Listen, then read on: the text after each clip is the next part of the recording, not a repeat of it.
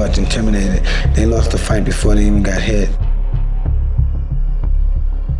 While I'm in the dressing room, five minutes before I come out, my gloves are laced up.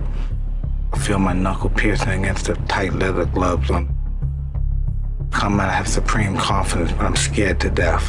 I'm totally afraid. I'm afraid of everything. I'm afraid of losing. I'm afraid of being humiliated. But I'm totally confident. The closer I get to the ring, the more confidence I get. I never take my eyes off my opponent. I keep my eyes on him. Even all during my training, I've been afraid of this man. I thought this man might be capable of beating me. I've, during the fight, I'm supremely confident. I'm moving my head. I'm hitting him to the body. I'm punching him real hard. And I'm punching and I'm punching and I know he's not able to take my punches. One, two, three punches. I'm throwing him butt punches and bunches. He goes down, he's out. I'm victorious.